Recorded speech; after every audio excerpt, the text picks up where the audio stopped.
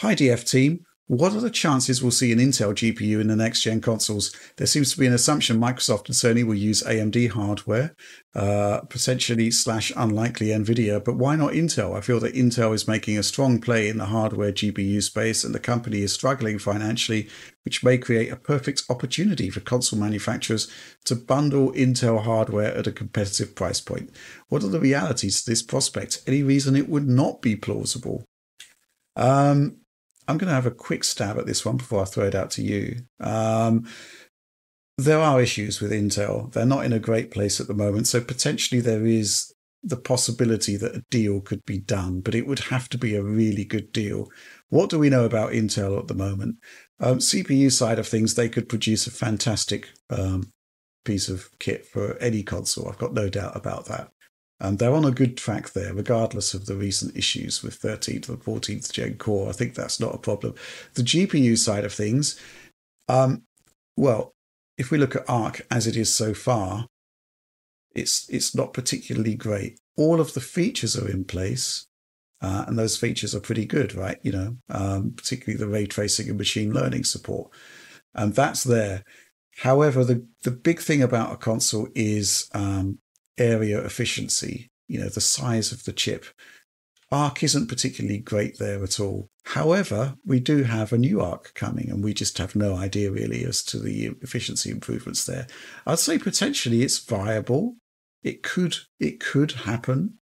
Maybe now is the time for Intel to want to make this kind of deal.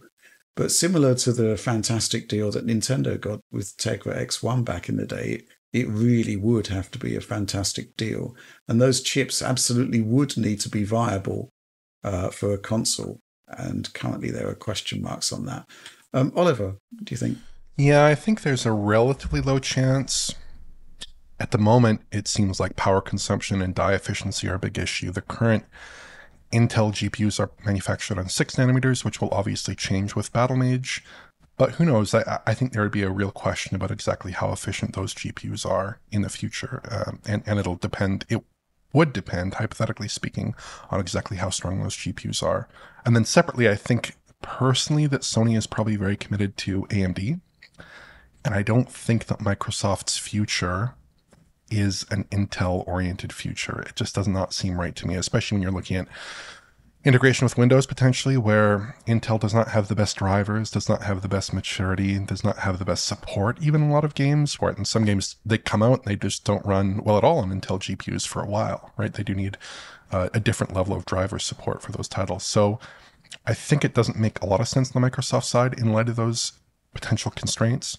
On the Sony side, I think they're just AMD until they die at this point, and I suspect that they figured out a way to actually work with AMD and add some of the features they want to add into the, the GPU architectures, make those architectures what they want them to be, and extend them basically independent of AMD or in concert with AMD. Okay, John, any input? No, not really. I feel you guys kind of covered that well, but it was. It, it would be interesting to see, though. I will just say I'm fairly certain we're going to see more AMD consoles going forward. Yeah, I think I feel so. pretty I think, confident in that. Yeah, especially if the move to um, uh, you know a more Windows-like architecture is on the you know is Microsoft's uh, plan. It just makes sense to go with um, a supplier that can actually produce really good, efficient Yeah. parts that have been proven in the Windows space. And it's kind of weird that we're not including Intel in that, but you know the Arc drivers are still in a really uh, early phase overall. I'd say, even though there have been leaps and bounds there.